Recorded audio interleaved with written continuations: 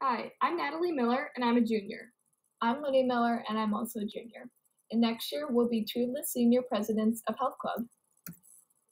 Health Club focuses on mental, physical, and emotional health, and we meet every other Monday at lunch in a health room. We also have outings. So, in the past, we've gone apple picking, done yoga, and even gone surfing. And of course, anyone can join, it's open to all grades. At Health Club, we talk about a lot of things.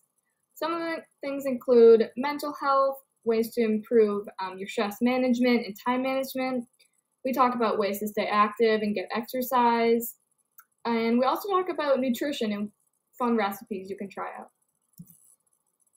One of our club members said that Health Club is for sure my favorite club that I'm in. I love to, that I try to get healthy recipes and fun ways to stay active.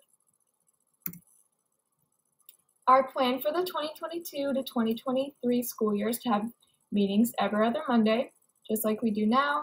And we also plan to go apple picking, ice skating, and trying new food, as well as other outings.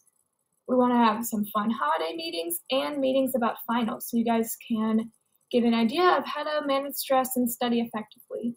We also want to hear your ideas. So next year, you can tell us what kinds of things you want to discuss at the meetings, and we'll be sure to uh, talk about those.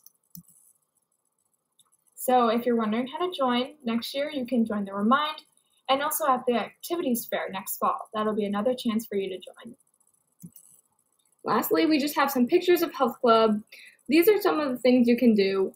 Um, on the left, we went apple picking. In the middle, that's when we went surfing. And on the right was a Friendsgiving, where we all exchanged food.